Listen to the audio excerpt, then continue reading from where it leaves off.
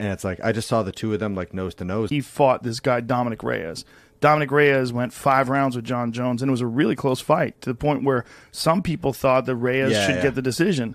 Błachowicz blew Dominick Reyes out in two rounds, beat the fuck out of him. I mean, beat the fuck out of him.